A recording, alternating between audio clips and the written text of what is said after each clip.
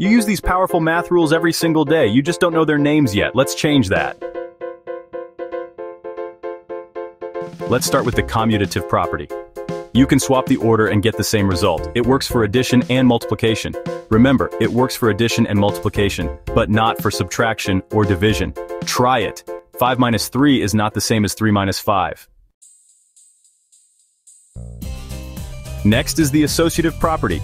How you group things doesn't change the sum or product. Whether you add the first two numbers first or the last two numbers first, the answer is the same. This is the secret weapon for mental math. Take 2 times 14 times 5. It might be smarter to multiply 2 times 5 first to get 10.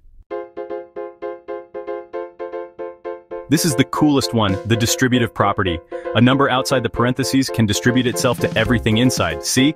3 times 4 plus 2 is the same as 3 times 4 plus 3 times 2. You get 18 either way. This is the fundamental concept behind algebra and beyond. Have you ever wished you had an undo button in real life? In math, you actually do. It's called the inverse property. Picture this. You have seven balloons, but then you let go of seven balloons. How many balloons are you holding now? Zero. That's because 7 plus negative 7 equals 0. The inverse of a number is what you add to get back to 0. For addition, the inverse is adding the opposite. For multiplication, it's multiplying by its reciprocal. Take 2 for instance. Now multiply it by 1 half. The inverse of a number is what you multiply to get back to 1. This property works for every number except 0. Remember when it comes to the inverse property, it's what you add to get to 0 and what you multiply by to get to 1. It's your secret shortcut. But why are 0 and 1 so important when it comes to math? Have you ever wondered, what happens when you add 0 to a number, or multiply a number by 1?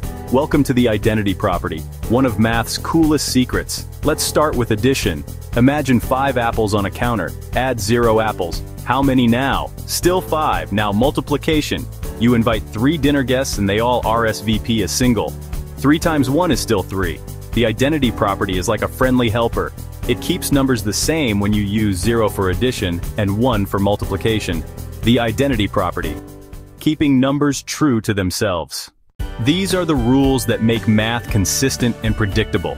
Now you know the names of the tools you've been using your whole life. Which of these properties is your favorite? Let me know in the comments. Share this video with someone who is interested in learning more about math concepts and subscribe for more math-related content. Until next time, remember that math isn't magic. It's everywhere.